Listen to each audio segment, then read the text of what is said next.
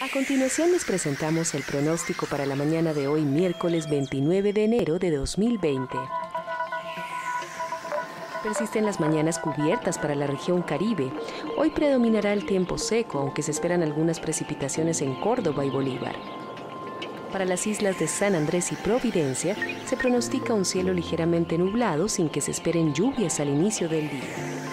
En cuanto a la región pacífica, se espera que amanezca con cielo predominantemente encapotado, por lo cual es probable que se presenten lluvias en el valle del Cauca, Cauca y Chocó. Se prevé que la mañana andina estará fuertemente nublada, por lo cual, aunque la tendencia será el tiempo seco, son probables lluvias en Antioquia y Santander.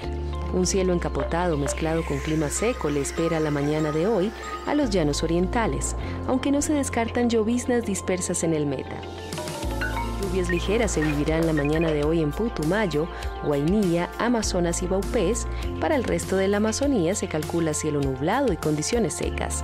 Finalmente, Bogotá despierta hoy con un cielo que tenderá a estar cubierto, un clima seco y una temperatura mínima de 6 grados.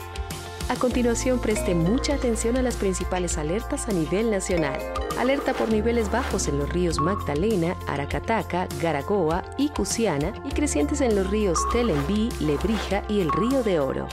Alta probabilidad de incendios de la cobertura vegetal en las regiones Caribe, Amazonas y Andina.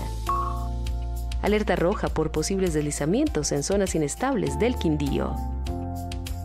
Manténgase bien informado y en tiempo real a través de nuestra aplicación Mi Pronóstico. Consulte los pronósticos del estado del tiempo, las imágenes satelitales y conozca las principales alertas tempranas. Información detallada a nivel municipal, cifras de deforestación, estadísticas de rayos y otros datos de interés.